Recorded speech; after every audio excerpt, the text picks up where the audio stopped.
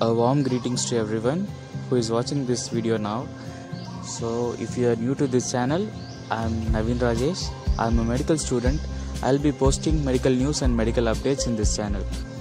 Initially, when I was starting this channel, I used to post only in Tamil, but later I get to know many of you wanted me to do videos as well as in English. So, here it is, I'm trying for the first time ever.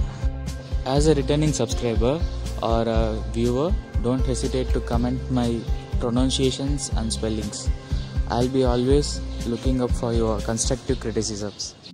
This video is all about calculating the pack years or the number of pack years the person smoked. This video is for both medicos and non-medicos.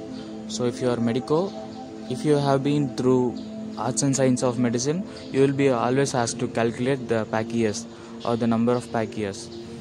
It's really a small calculation, but we tend to forget every now and then. So I thought of making a video in which we all can understand in a simple way. The Center for Disease Control says if a person has a 30 pack year, he might probably develop a lung cancer. The pack year can be easily understood by a simple concept. So, if a person smokes one pack per day and he repeats it daily for the one year, it means he has a pack year of smoking for one year. So, one pack holds 20 stick. If a person smokes 10 sticks per day and he repeats it for the whole year, he has a half pack year. Okay, let's have a small brain exercise.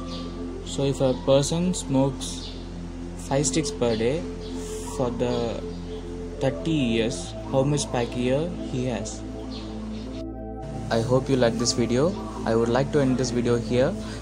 If you have any clarification, just drop it in the comment box so that I can respond to you. Thank you. Have a great day. Coffee குடிச்சியா cigarette குடிச்சியா tea குடிச்சியா ஆ, இதெல்லாம் வந்து கேட்டுக்கணும் one hour light போட்டு நாய